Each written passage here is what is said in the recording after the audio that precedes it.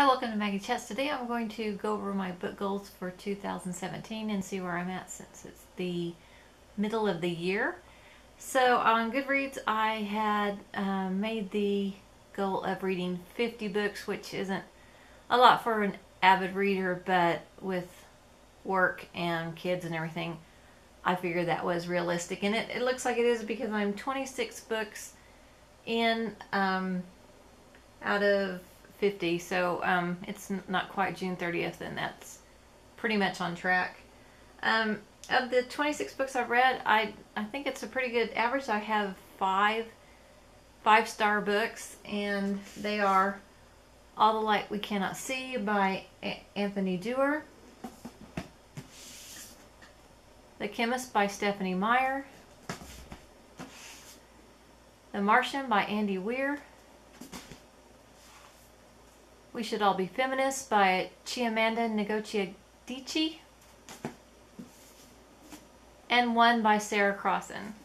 I think that's a pretty good average for um, 26 books, and um, I have had a lot of four stars too. There's only been about um, six books that were less than, that were probably two to three stars, and the rest, of course, were three stars. So another goal was to do three challenges on Goodreads this year, and I did the Tome Topple, which I read all the Light We Cannot See, and I began Brent Weeks's The Black Prism, which I shelved for a while. I got halfway through and just didn't want to finish it. So when the challenge was over, I went to something else.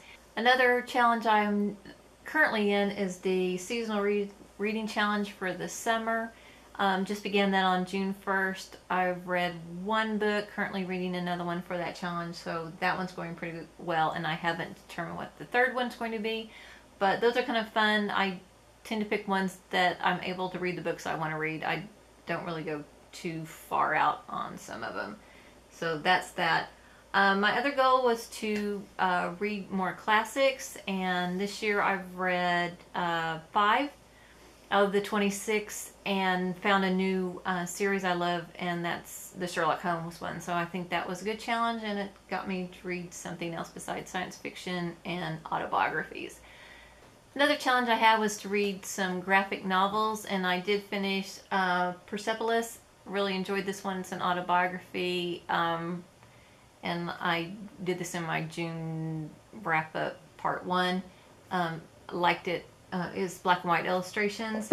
And then I also got uh, Ethel and Ernest by Raymond Briggs, and this is in color.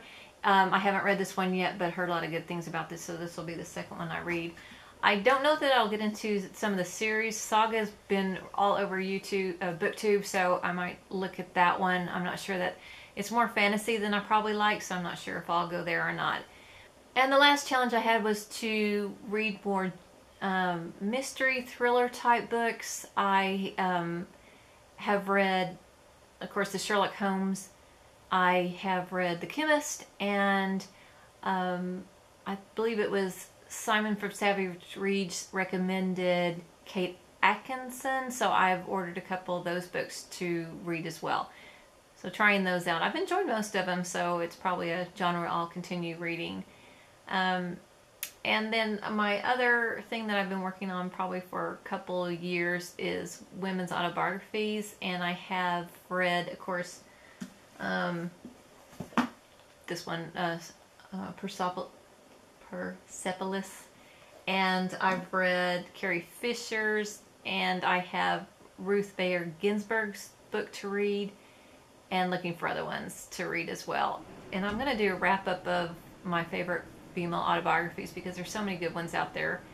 So there's other autobiographies I want to read as well and look into. So it's I think for so far the reading is going quite well. I I think the best thing is getting into BookTube because you get to talk to so many people and have so many different suggestions.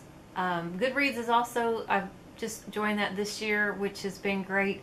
Um, I need to work on doing reviews. I haven't done any reviews yet, and I want to start doing that uh, for the books that I read because I, I do benefit a lot from people's reviews and also um, the challenges I have a lot of suggestions too. So Goodreads has been another uh, great thing.